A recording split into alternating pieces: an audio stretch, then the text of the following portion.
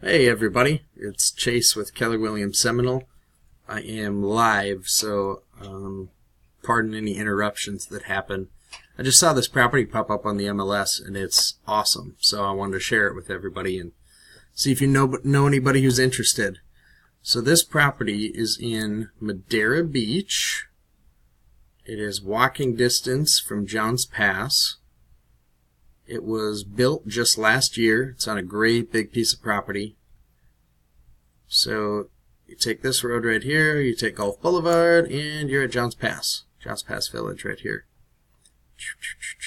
Just like that. Um, this is a three bed, two bath with a six car unfinished garage. Uh, let's see if I can rearrange this here so you can see all the pictures. Check this place out.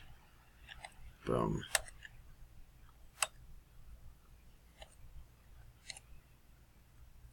So there's your first entrance. You got a two-car tandem garage right here. And on the back side, you have it opens up on both ends as well.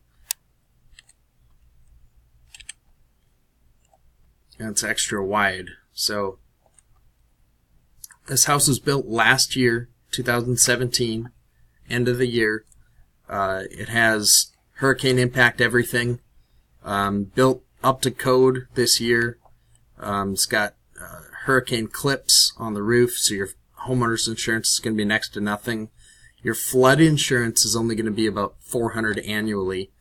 So total insurance cost for this brand new house is going to be right around maybe two grand a year. Not even that. I bet it's 800 and 400 or 900 and 400. So you're looking at 13 to 1500 annually.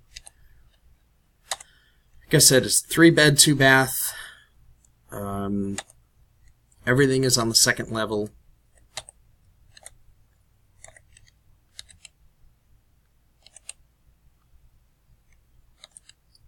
Here's your pool, pool area, extra large lot, deck, about five blocks walking distance to the beach or to Johns Pass. So we're gonna take it back here. This is priced at three eighty nine nine.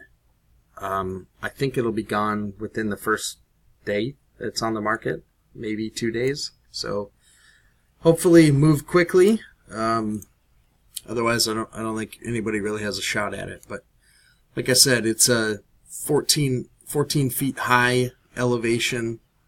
Um, hurricane egress, ingress, safe, high and dry, single family home. This cannot be used as a vacation rental. Can only be used as a, a longer term rental, which would be 90 day minimum. So I suppose you could rent it from January to March or January to April if you didn't want to come down during the winter months and pretty much pay for itself for the uh, for that time that it's being used. But um, this is this is an awesome house. I just wanted to highlight it for everybody and uh, and show them, you know, what a deal you can get. Um, for for example, something that's thousand square feet in Madeira Beach, built in the fifties, is probably two hundred seventy-five to three hundred thousand.